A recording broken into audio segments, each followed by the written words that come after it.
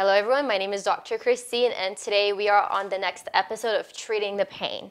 Today we'll be looking at cramps or period pain. A lot of women suffer from these. They'll have that abnormal cramping, the bloating, the fatigue, the exhaustion. All this happens while on your period and it could be super frustrating because it'll take, it'll take up so much from your day and from your time and you can't do what you want to do. So today we're gonna be looking at some exercises to help alleviate that pain. And we're gonna talk about other ways to also help with that pain. Some of it you may know and some of it will be new. And let's get started.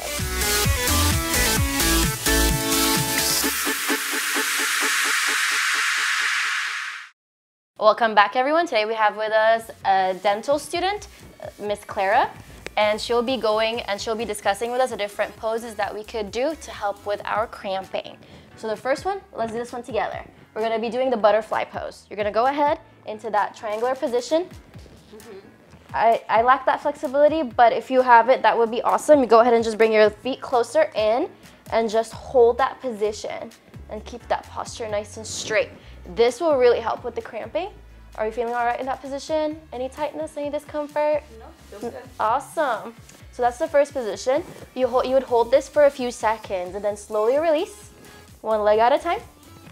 The next one is super simple. The next one is just a nice little pike. And lean forward, breathe into it. You should be feeling this in the hamstring, the calves, and the low back.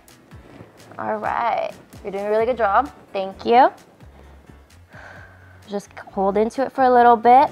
Now slowly release that. Always go one vertebra at a time till a nice straight posture. Excellent. From there, we're gonna go into my favorite one. We're gonna do what we call child's pose in yoga. Child's pose is excellent for low back pain and for cramping as well. It's a really comforting position. There's two variations to this one.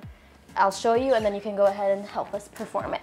There is one option where you would have your knees closed, you would be in this position and you would lean forward. Do you want to go ahead and try that? Sure. Just like this? Yep, and then go ahead, lean down into it. Excellent. With this position, you'll be working the low back, the mid back, and the shoulders. It's great for cramping. It's also a generally good stretch.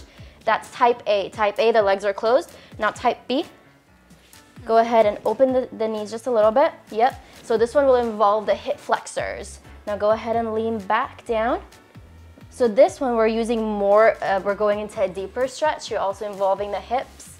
Some patients prefer with the hips involved, some don't. That depends on your comfort and what you can handle. All right, go ahead, slowly back out of that. How does that feel? Feels good. Awesome. Thank you. Thank no you for problem. helping me today.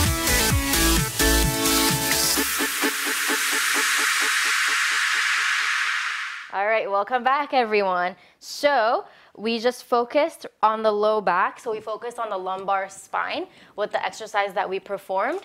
So not only are these great for the lumbar spine, they're also great to help alleviate period pain. Now I did mention about different other ways to help with the pain. Some of this you may know. Like for example, using a heat pack when you're in a lot of pain. Uh, don't go past 20 minutes with heat. That would be a little excessive. Always use a towel and put a heat pack on. Drink a lot of water and walk. Walking is great for that bloated sensation and the pain you might feel.